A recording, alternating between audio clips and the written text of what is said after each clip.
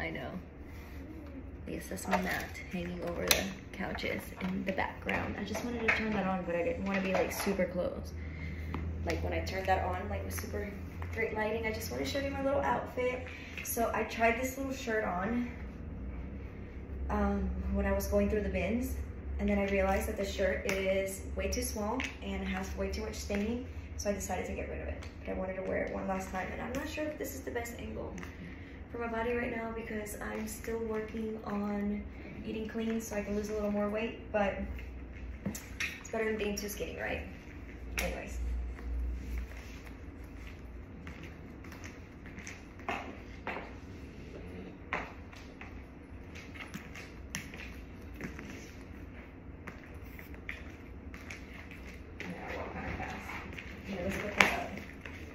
That's my robe too on top of there. I know. I've been rearranging in here. Feels good to do so. Anyways, I know my hair looks kind of crazy because I didn't blow dry it after my shower. I worked out and then I showered. Just why this is still out.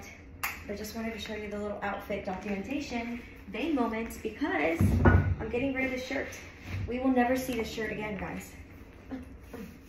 It's too tight, like right there, you know? Anyways, yes, we will never see this shirt again.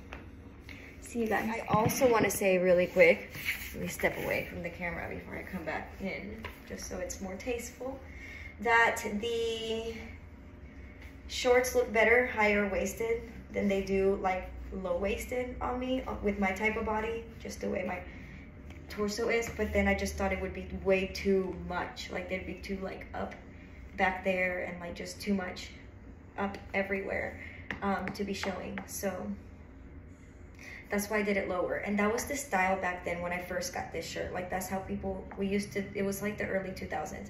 But anyways, as you can see, it's like hard to move my arms in this shirt and I can't keep it like tight anymore without like causing a lot of like wrinkling in my area that I'm self-conscious about. So it's time to really let this shirt go.